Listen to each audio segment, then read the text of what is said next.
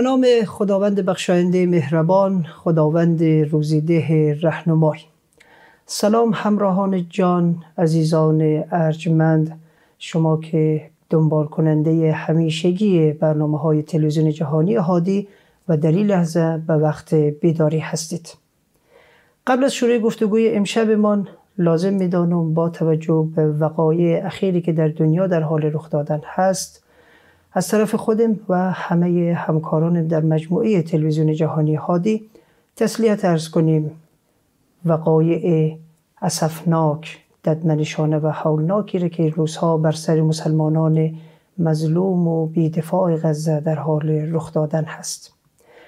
برای عزیزانی که از دست رفتند قفران رحمت الهی میطلبیم و برای عزیزانی که بازمانده هستند کودکان مردها خانمها همه بزرگوارانی که ماندند و بر این صبر و بر این, بر این مصیبت صبر می کنند هم صبر جزیل و انشاءالله اجر جزیل خداوندی را تقاضا مندیم بر هر انسان واجبی بر هر انسان آزاده واجب هست که این روزها احساس خودش نسبت به این واقعه بیان کنه. احساسی که شاید از یک طرف برای مردم مظلوم غزه حمایت باشه و از طرف دیگر برای کسانی که این حمله وسیع ولی متاسفانه بسیار فجیع انجام میتن انزجار باشه. در خدمت شما عزیزان هستیم. برنامه امشب آغاز می‌کنیم. در حضور شما عزیزان با حضور دانشمند محترم جناب استاد دکتر فیازی با موضوع زیست مؤمنانه. سلام علیکم استاد. خوش آمدید. سلام علیکم و رحمت الله اعوذ بالله من الشیطان الرجیم. بسم الله الرحمن الرحیم. الحمد لله رب العالمین و الصلاة و السلام علی محمد و آله الطاهرین.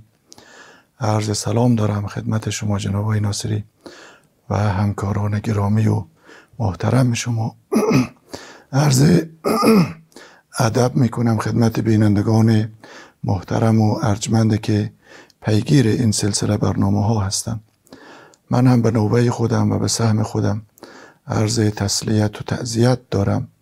این رویداد حقیقتا ظالمانه و ستمگرانه ای که بر مردم مظلوم فلسطین و غزه روی داده است و اعلام انزجار و محکومیت داریم از عاملانی که این ظلم و ستم را بر جامعه اسلامی و بر بخش از امت اسلامی روا داشتن. حقیقتا شایسته است این مصیبت را محضر امام زمان که واقعا در این ایام حجت خدا در عالم هستی اوست محضر آن بزرگوار عرض تسلیت و تعذیت داشته باشیم.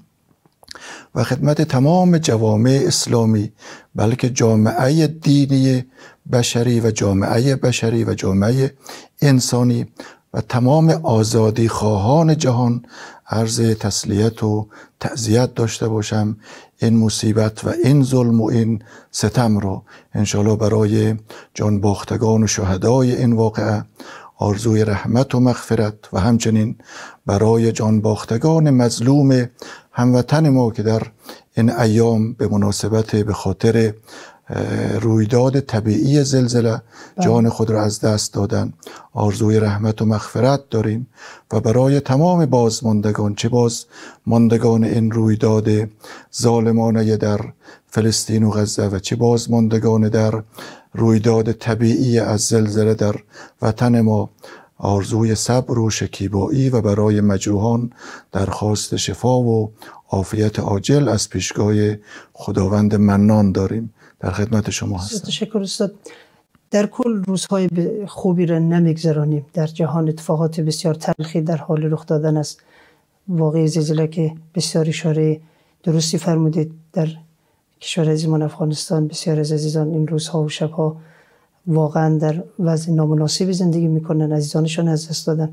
و واقعی غزه که این روزها همه چشم همه جهانیان به اتفاق خیره شده که چه اتفاقی افتاده که واقعا اینقدر مردم مظلوم و مسلمان در این فشار و در این واقعی اسفناک به سر می‌برن.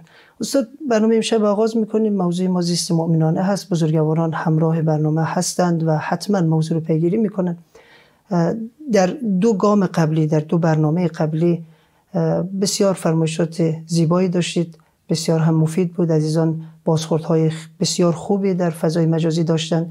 انشالله امشب هم می‌خوایم ادامه بتیم اگر اجازه بتین یک بسیار کوتاه خلاصه داشته باشیم از اون که در برنامه های قبل رخ داد و گفتگو شد و امشب سوالاتی که داریم از شما خواهیم پرسید. بله. اجازه بفرمایید جناب آقای ناصری پیش از شروع در بیان خلاصه مطالب گذشته من این فرازی از زیارت عهد یا دعای عهد امام زمان که حقیقتا سفارش شده است.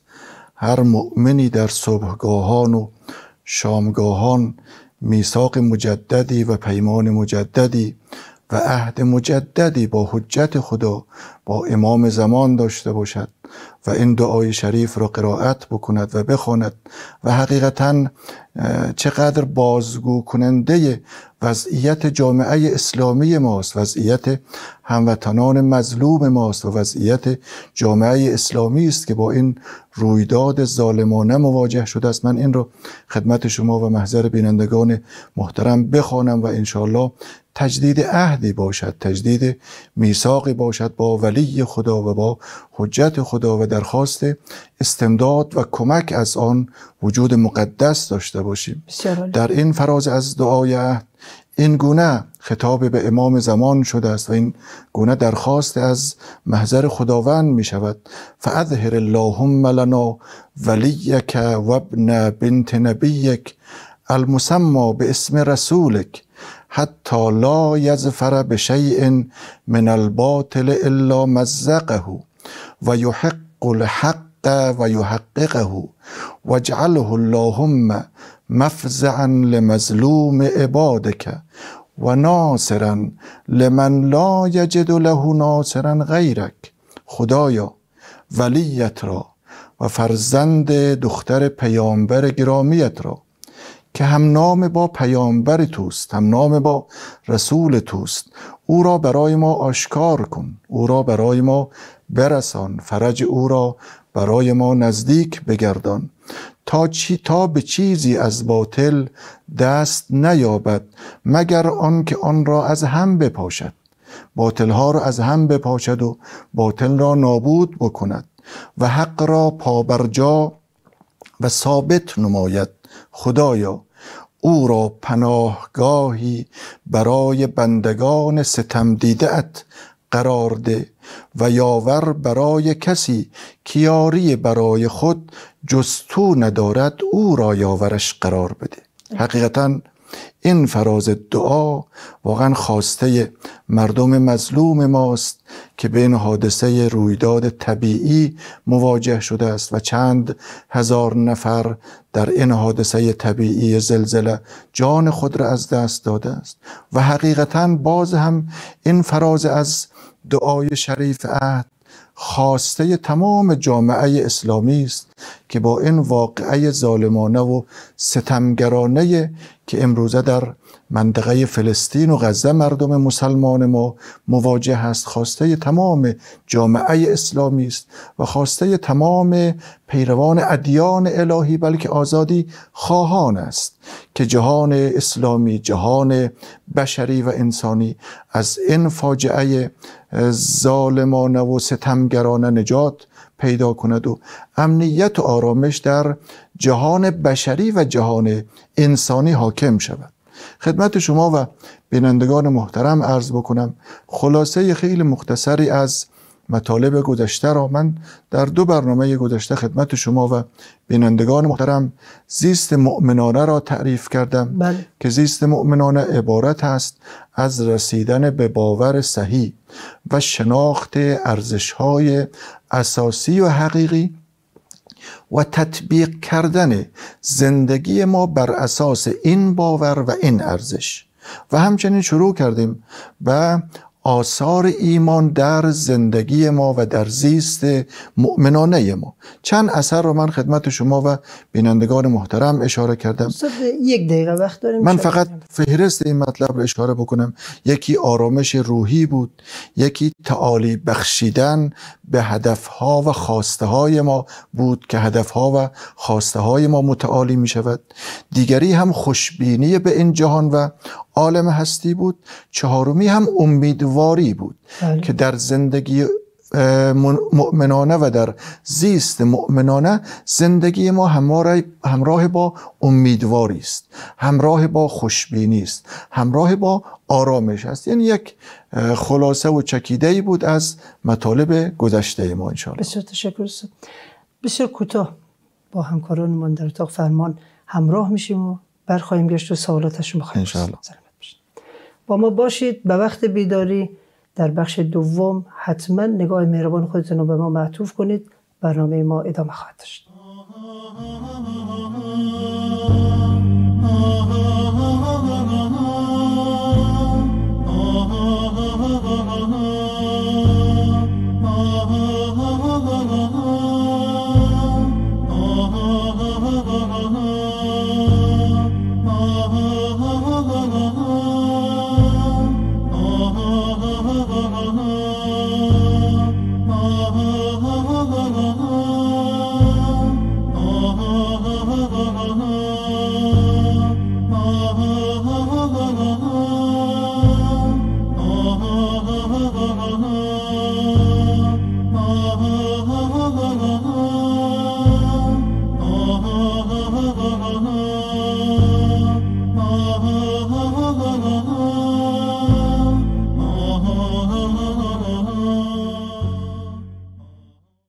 دستگلی از ادب و احترام تقدیم یکایک شما بزرگواران شما همراهان بسیار نازنین برنامه به وقت بیداری ادامه گفتگوی ما در مورد زیست مؤمنانه رو مشاهده می‌کنید. اما قبل از اینکه گفتگوی خودمان ادامه بدیم با جناب استاد من پول ارتباطی را محضر شما بزرگواران اعلام می‌کنم. نمبر مثبت 964 780 255 40 13 در اختیار شما هست. از این طریق می‌تونید پیام های متنی خودتان صوتی و تصویری را حتی با ما به اشتراک بگذارید ارتباط دو سویه می‌تواند بسیار سازنده باشه برای بنده و همکارانم برای ساختن یک برنامه مفید و تقدیم آن به شما عزیزان جناب استاد دکتر فیوزی نقش ایمان در زیست مؤمنانه فردی چی می‌تونه باشه؟ بله. حقیقتا چون سخن و گفتگوی ما در باره زیست مؤمنان است شایسته است و لازم است که ما نقش ایمان را در زندگی فردی ما و نقش ایمان را در زندگی اجتماعی ما مورد بحث و گفتگو قرار بدیم. انشاءالله باشد که این آموزه هایی که برای ما راهکار است برای ما مسیر حرکت را نشان می‌دهد.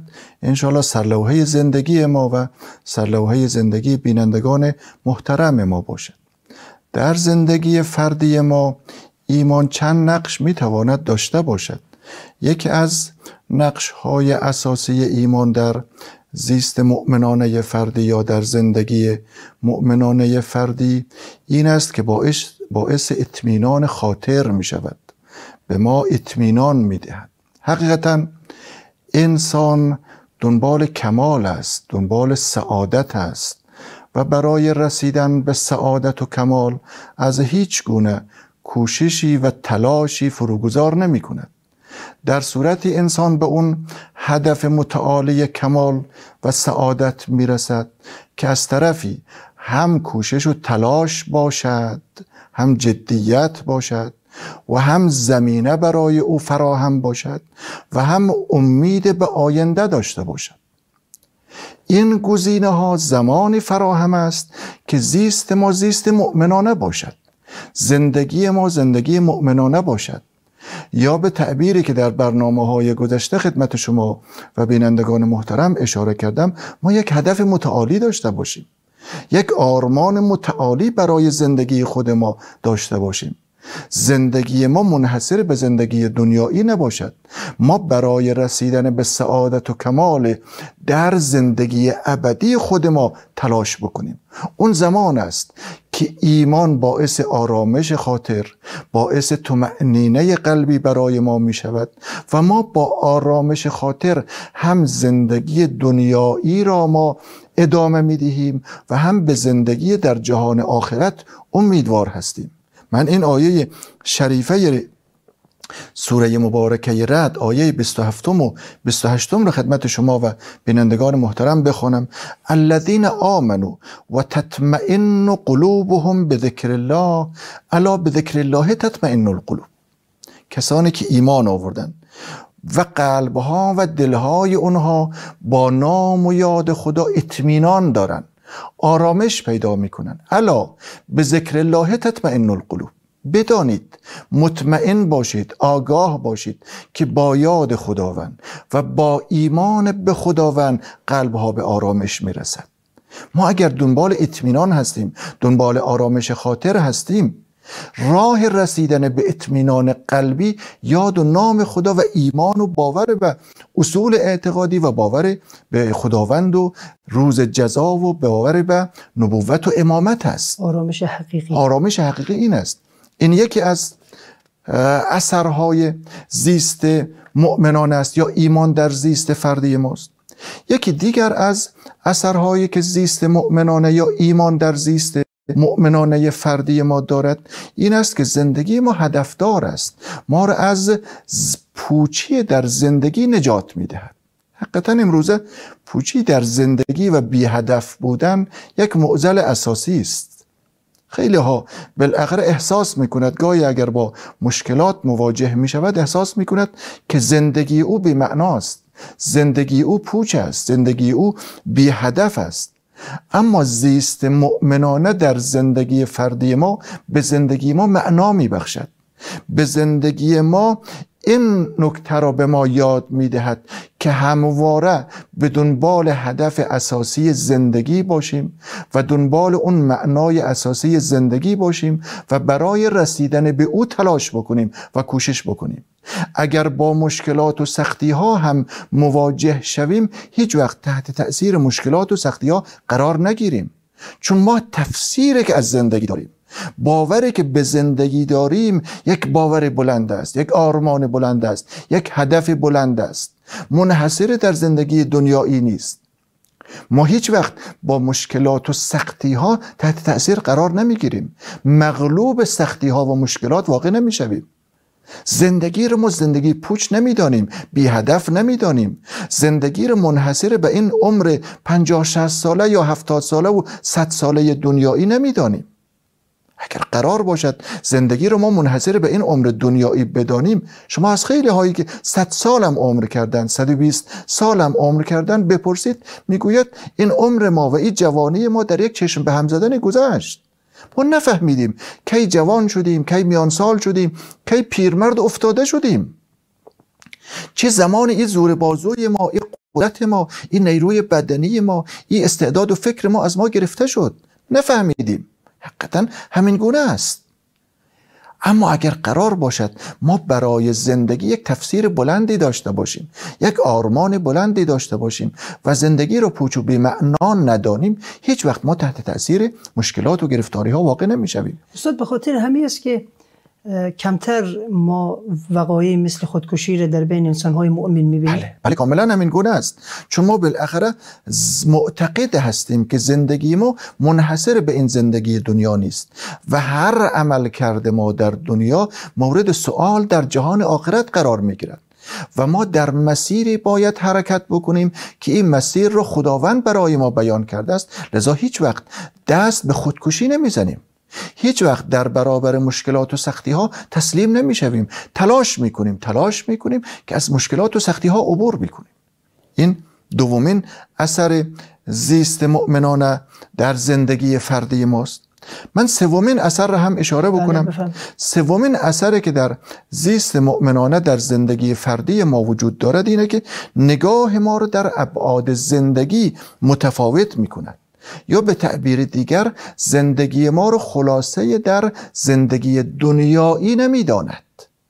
من عرض کردم که بالاخره اگر قرار باشد ما زندگی را منحصر به زندگی در دنیا بدانیم به گونه زندگی می‌کنیم.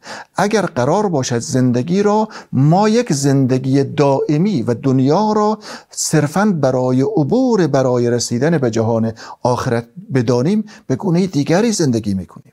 من یک مثالی خدمت شما و بینندگان محترم عرض بکنم.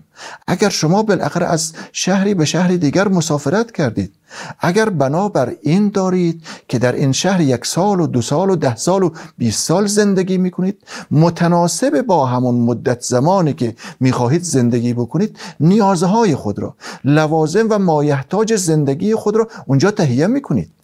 یک خانه مناسبی یک لوازم زندگی مناسبی برای اون زندگی خود تهیه می کنید با یک نگاه بلندی با یک چشمانداز بلندی شما در اون شهر زندگی می کنید اما اگر شما مسافر یک روزه باشید یک ساعته و دو ساعته باشید یک هفته باشید هیچ وقت لوازم اساسی اونجا تهیه نمی کنید هیچ وقت شما دنبال یک خانه خوب و خانه مجلل نیستید. چند روزی بالاخره شما مسافر هستید اونجا بمانید و از اونجا عبور بکنید. بله. ما چون زندگی را دارای چند مقطع می‌دانیم. یک مقطع از زندگی ما زندگی در دنیاست مقطع بلندتر از او زندگی در عالم برزخ است. و بلندترین مقطع زندگی ما زندگی در عالم حشر و عالم قیامت است. متناسب با این سه برهی از زندگی ما باید مایحتاج زندگی را فراهم بکنیم. بر اساس دستورات دی که به ما داده است در زیست مؤمنانه ما باید خرجی و مایحتاج زیست مؤمنانه در عالم حشر و قیامت رو در همین دنیا فراهم بکنیم. این دنیا دنیای عمل است. فرصت فرصت کار است. فرصت تلاش است. در زمان آخرت و در جهان آخرت فرصت محصول برداشتن است. زمینه نتیجه گرفتن است. اگر در این دنیا خوب کار کردیم تلاش کردیم محصول خوبی در اونجا می‌گیریم. اگر در این دنیا ما غفلت کردیم کار نکردیم تلاش نکردیم در مسیر طاعت و بندگی خداوند حرکت نکردیم باید دنبال نتیجه بد و سرانجام بد در عالم آخرت باشیم. این چشماندازه زندگی مؤمنانه است. این نگاه نگاه زیست مؤمنانه است. که زندگی رو منحصر به این زندگی چند سباه دنیایی نمی‌داند. وقتی ما از زیست مؤمنانه سخن می‌گوییم یک بخش از زیست مؤمنانه منحصر به زندگی دنیایی است. استاد یک اشکال اینجا به وجود می‌شود برای بعضی از عزیزان که ما در زندگی مؤمنانه فقط از آن دنیا زندگی بعد از این دنیا و مراحل بعدی زندگی من گپ می‌زنیم. این دنیا چی استاد؟ آیا یک فرد مؤمن از این بله، دنیا؟ بله. من انشاءالله به این بخشم می‌رسم. به این بخشم اشاره می‌کنم اثراتی که بالاخره زیست بله. مؤمنانه در زندگی اجتماعی ما داره بله. اثراتی که زیست مؤمنانه حتی در صحت و سلامت بدنی ما دارد بله. پس آثار زیست مؤمنانه منحصر به آثار در عالم برزخ و عالم قیامت نیست خب. این آثار هم می‌تواند در زندگی دنیایی ما داشته باشد و هم در زندگی جهان آخرت ما داشته باشد انشاءالله تشکر پس از طرف عزیزان قول می‌گیریم که در بخش بعد جواب سوال انشالله با شما هستیم. انشالله همچنان به وقت بیداری رو می‌بینید از تلویزیون جهانی هاتی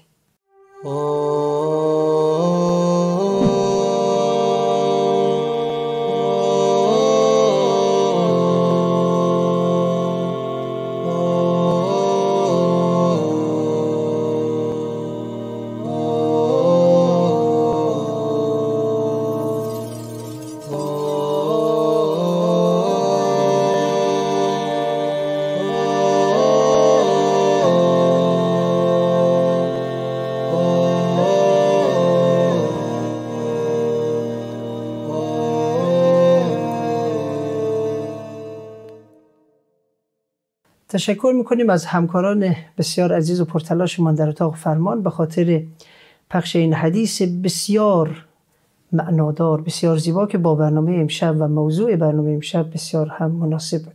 از امام صادق علیه السلام صفات مؤمن حقیقی را با هم دیدیم و شنیدیم.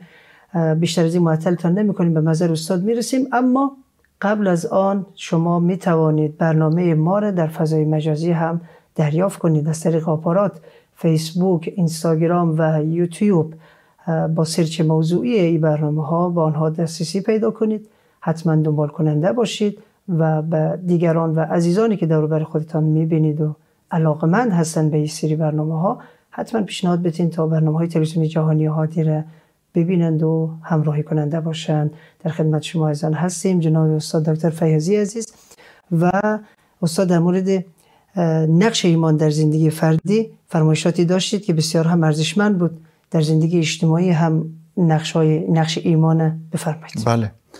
جناب ناصری سوال مطرح کردید که آیا نقش ایمان در زیست مؤمنانه ما فقط در زندگی فردی است یا در زندگی اجتماعی ما هم تأثیر دارد؟ بله. یا به تعبیر دیگر آیا این نقش فقط در منحصر به جهان آخرت است بله. یا در دنیای ما هم تأثیر دارد؟ این سوالی که مطرح کردید پاسخ این سوال و این پرسش حقیقتا می تواند همین نقش را برای ما مطرح بکند که زیست مؤمنانه و زندگی مؤمنانه نقش آن و اثر آن تنها منحصر به جهان آخرت نیست.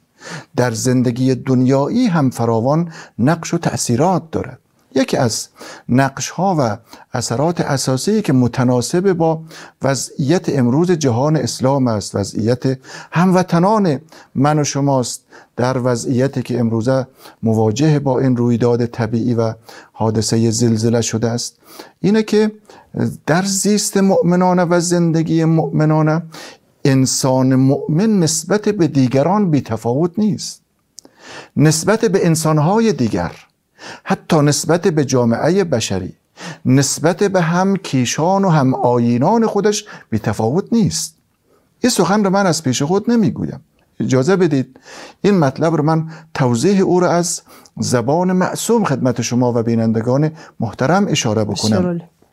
من دو حدیث رو به عنوان نمونه خدمت شما و بینندگان محترم اشاره بکنم که این دو حدیث در کتاب شریف کافی مرحوم کلینی در بابی که تحت عنوان باب حق مؤمن بر برادر مؤمنش یا باب حق مسلمان بر برادر مسلمانش. چند حدیثی در اونجا نقل شده است.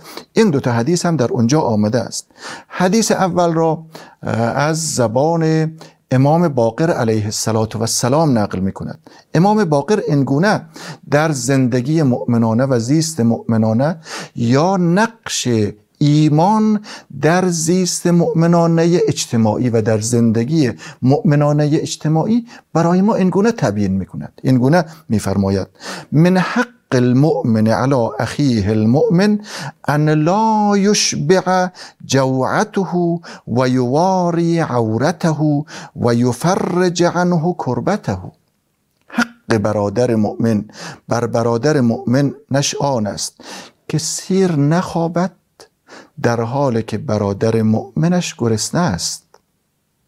اگر امروز جامعه اسلامی با این مشکل مواجه است فقرای در جامعه اسلامی وجود دارد وظیفه سرمایهداران است وظیفه ثروتمندان است که شب به حالت سیری نخوابد به فرمایش امام باقر علیه السلام در حال که همکیشان او مؤمنان دیگر و هم آیینان او گرسنه خوابیده است با شکم گرسنه خوابیده است. و حق برادر مؤمن بر برادر مؤمنش این است که و یواری عورته عیبهای او را مخفی بکند. عیبهای او را آشکار نکند. اسرار او را بازگو نکند بیان نکند. و یفرج عنه کربته. دچار سختی شده است. دچار مشکل شده است. نیاز به کمک دارد. نیاز به یاری دارد. دست یاری به سوی او دراز کند. درد او را درمان بکند. مشکل او رو برطرف بکند. یه به عنوان حق مؤمن است. بله. از زبان امام باقر است. و یقضی دینه اگر بدهکار است مدیون است. کسی از او طلبکار است. در توان من و شماست. می توانیم کمک بکنیم تا اون برادر مؤمن من و شما دین خود را پرداخت بکند. وظیفه داریم که باید دین او را پرداخت بکنیم. دست کمک به او بدهیم. قرض می توانیم قرض بدهیم. هر نوع کمکی می توانیم به او کمک بکنیم. فاذا مات خلفه فی اهله و ولده امام باقر میفرماید حتی این حق برادر مؤمن منحصر به زمان حیات او نیست منحصر به زمان زندگی او نیست. برادر مؤمنت حتی از دنیا رفت وظیفه تو این است که نسبت به فرزندان او و نسبت به خانواده او هم احوالات فرزندان و خانواده او رو بگیری. عجب. این کسی که از دنیا رفته است خانواده او در چه وضعیتی است؟ خانواده ای که سرپرست خود را از دست داده است. امروزه در وضعیت جامعه ما کسانی که بالاخره سرپرست خود را از دست داده بچه هایی که پدر و مادر خود را از دست داده است. کسانی که بالاخره عزیزان خود را از دست داده جوانان خود را از دست داده. کسی که برای او کار می‌کردن درآمد می آوردن اونها را از دست دادن. وظیفه بقیه مؤمنان این است که از احوال اون خانواده ها خبر بگیرد. اگر دردی داره اگر مشکلی داره اگر نیازمندی داره به عنوان زیست مؤمنانه به عنوان یک حق برادر مؤمن حق او را ادا بکنه در قبال فرزندانش در قبال خانوادهش بعد از از دنیا رفتن اون برادر مؤمن. و چقدر روزها نیاز داریم به این دید مؤمنانه؟ بله. این یک حدیث شریف است. حدیث شریف دیگر از زبان امام صادق علیه السلام باز هم در همون باب حق مؤمن بر برادر مؤمنش امام صادق با یک نگاه وسیتر این مسئله را بیان کرده است. امام صادق علیه السلام تعبیر به حق مسلمان بر مسلمان داره. ما این نگاه را نداشته باشیم امروزه در جامعه مذهبی و جامعه اسلامی که بالاخره کمک های ما منحصر به هم مذهب ما باشه. نه. امام صادق که به عنوان اسوه و الگو و پیشوای ماست تحت عنوان حق مسلمان بر برادر مسلمانش این مسئله را بیان می کند امام صادق علیه السلام می فرماید حق المسلم علی المسلم سبع حقوق هفت حق است. کسی سوال کرد حق برادر مسلمان بر برادر مسلمانش چیست؟ امام فرمود هفت حق دارد. در ادامه سوال کرد که ابن رسول الله این هفت حق را برای من بیان بفرمایید. امام از اول از این سائل و از این پرسشگر عهد می‌گیره پیمان می‌گیرد که من میترسم این حقوق را من برای تو بیان بکنم تو عمل نکنی. امام میفرماید یعنی اگر من برای تو این حقوق را بیان می‌کنم وظیفه داری عمل بکنی. مبادا این حق را ترک بکنی. مبادا این حقوق را نادیده بگیری. من امام صادق با این شرط این حقوق را برای تو بیان می‌کنم که به این حقوق پایبندی نشان بدهی و عمل بکنی. امام میفرماید راوی و سوال کننده از امام صادق علیه السلام شخصی است به نام معلب بن خنیس. امام صادق میفرماید یا معلا انی علیک شفیق اخاف ان تزیع ولا تحفظ من میترسم که تو این حقوق رو ضایع بکنی و عمل نکنی و در ادامه امام میفرماید ایسر حق منها ان تجب له ما ان تحب له ما تحب لنفسک اونچه را که برای خودت دوست داری میپسندی برای برادر مؤمنت برای برادر مسلمانت به تعبیر امام صادق برادر مسلمانت هم بپسندی. من به صورت خلاصه اشاره بکنم. و الحق ثانی ان تجتنب سخطه و تتبع مرزاته هیچ وقت برادر مسلمانت رو خشم و غضب او را بر نینگیزی او را خشمگین نکنی ناراحت نکنی. آیه شریفه است که اصحاب پیامبر و یاران پیامبر کسانی هستند که با همدیگر مهربانند.